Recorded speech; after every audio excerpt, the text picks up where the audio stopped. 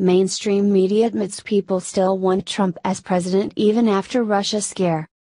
One volunteer from Donald Trump's campaign admitted his lies regarding the Russian theory.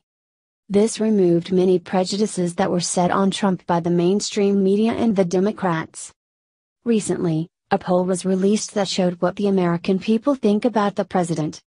Regarding the person who lied about Russia, Chris Cillizza from CNN wrote that what Papadopoulos has already admitted to doing, lying to the FBI about his conversations with Russian operatives regarding dirt on Trump's general election opponent, is a very big deal.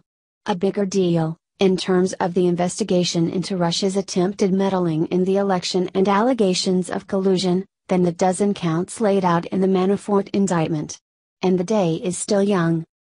According to Conservative Tribune, the results from the survey shows that the American people still want Trump to stay in his office, even if by any chance, the theory about the Russian collusion turns out to be true.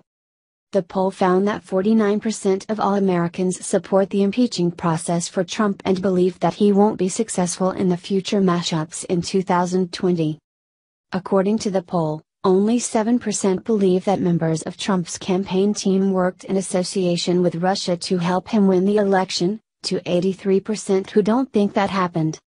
And even if collusion is proven, they don't care, just 11% think Trump should resign if that's the case to 79% who believe he should remain in office.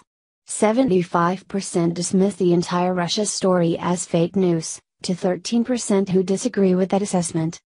The poll was conducted before the indictments of former Trump campaign officials were released and also before the documents shows that Trump's former campaign associate, George Papadopoulos is guilty of giving false information to the FBI officials about Russia. The anti-Trump participants are facing some really bad times. Even Hillary Clinton was exposed for her work with the DNC to create the fake dossier that falsely accused Trump of working with Russia in order to win the presidential election. Scroll down to the comments and tell us what you think. You think